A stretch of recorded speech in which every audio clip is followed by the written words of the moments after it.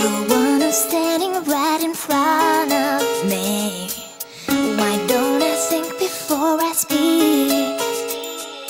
I should have listened to that voice inside me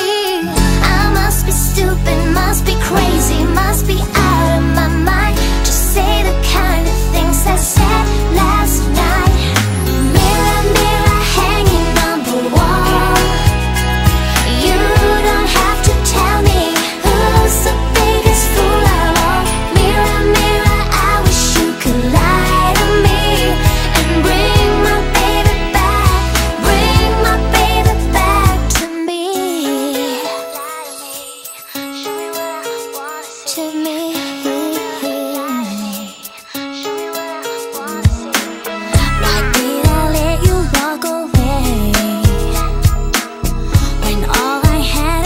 was say I'm sorry. I let my pride get